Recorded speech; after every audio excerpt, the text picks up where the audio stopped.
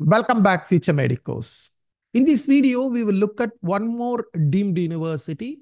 We will look at the fee structure, seat matrix, and finally, we will also look at what was the closing score to get into this college in the last three years. So this will give you some idea about your possibility of getting a seat in this medical college. Come, let's go and see this video.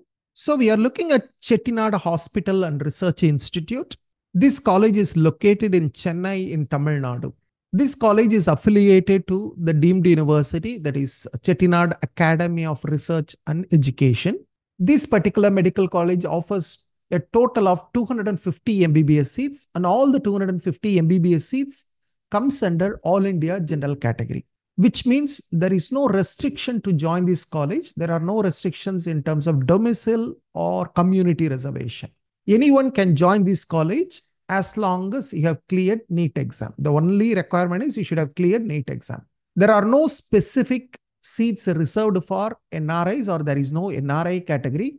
If you are an NRI and if you want to join this medical college, then you need to fill choices under general category. Where should I apply to get a seat in this college? All the 250 MBBS seats are offered through medical counseling committee. So you need to register with MCC and participate in the online counseling at the all India level. Now, what is the fee structure? The fee structure is 24.5 lakhs into 5.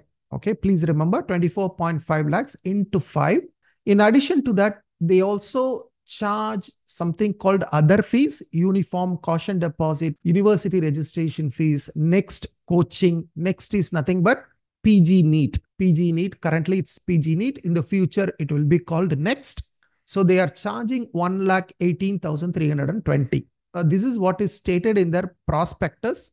But when I visited their college, they said uh, it is one and a half lakhs. So I'm not sure whether this is right or one and a half lakhs is right. So even on their website, I saw somewhere that it is mentioned 1.5 lakhs. And when I checked with the previous batches, they said they are paying about 25.8 lakhs totally. So I'm not sure whether this amount is correct or not. So I would recommend you to be ready to pay somewhere between uh, 24.5 plus 1.18, that is about 25.7 to maybe about 26 lakhs. So roughly keep the budget at 26 lakhs, that would be better. So 26 lakhs into 5, so that's about 1.3 crores is the total tuition fee for the college. Now this is the hostel fees, mess and accommodation. This is last year fees, 2023-24. They have many options, single, double, triple, AC, non-AC, bath attached, non-bath attached. So they have a lot of options. And the cheapest option that is triple bed, non-AC, non-bathroom, I mean bathroom not attached, uh, starts at 1.95 lakhs for boys. And for girls, it starts at 2.2 lakhs. And it goes up as high as 4 lakhs per year. So it's somewhere between 1.95 to 4 lakhs last year. But this year, the fees they have increased to 2.1 lakhs to 4.2 lakhs. They have not given the breakdown, but since it is 2.1 to 4.2, I see that every category might have increased the fees by about 15,000 to maybe 20,000. That's what I believe. So probably the lowest option that is triple bed non-AC, maybe now it will be 2.1. And whereas uh, if you are going for triple bed AC, uh, for girls, it might come close to about 2.75 lakhs. So uh, the first year, you will be offered only triple sharing rooms. Subsequently, only you can move to either single or double.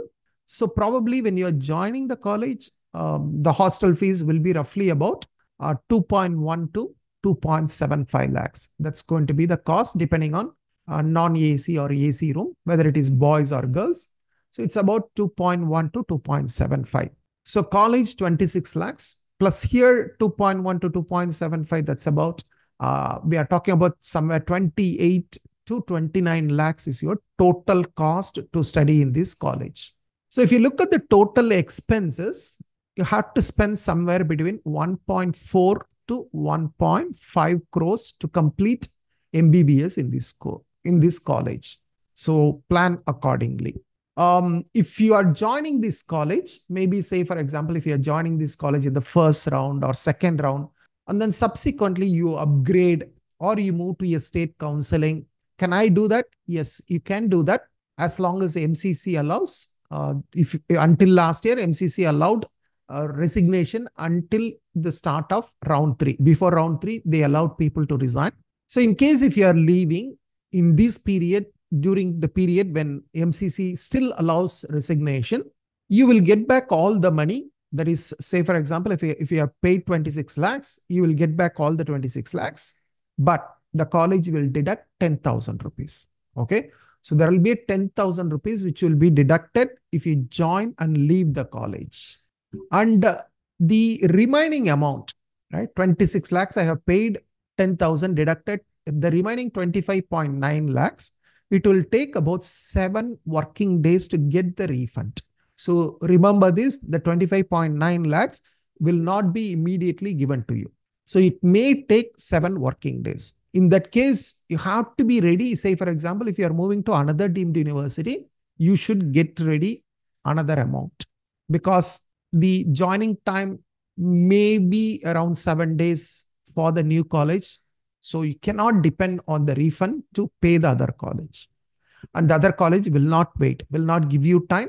So ideally, if you are planning to join a deemed university and move to another deemed university, I strongly recommend you to keep two times the fees as the cash flow. Otherwise, it would be extremely difficult to move from one deemed university to another deemed university. Now, what is the closing rank last year? It was quite easy to get. Last year, it was around like 10 lakh plus All India rank.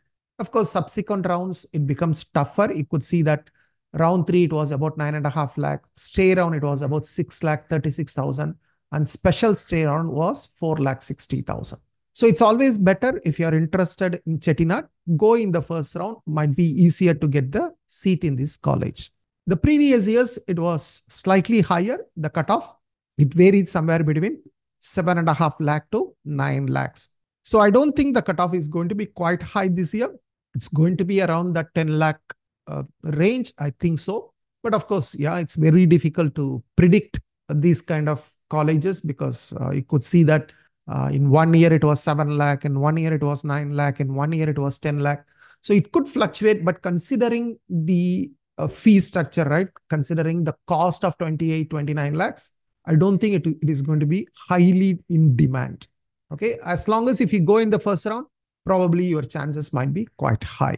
Now, in terms of marks, uh, of course, in the previous years, it was somewhere between 110 marks to 150 marks. But this year, the scores may be higher, right? Because everyone, the scores are higher. Even the pass mark this year is about 162 for general category.